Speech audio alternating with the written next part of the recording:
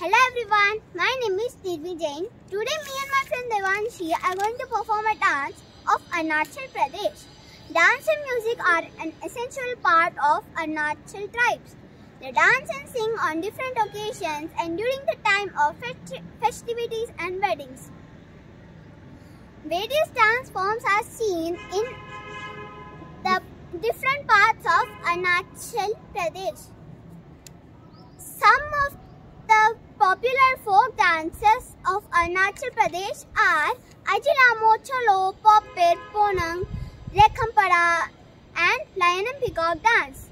Most of the dance forms are accompanied by Choru songs. Thank you.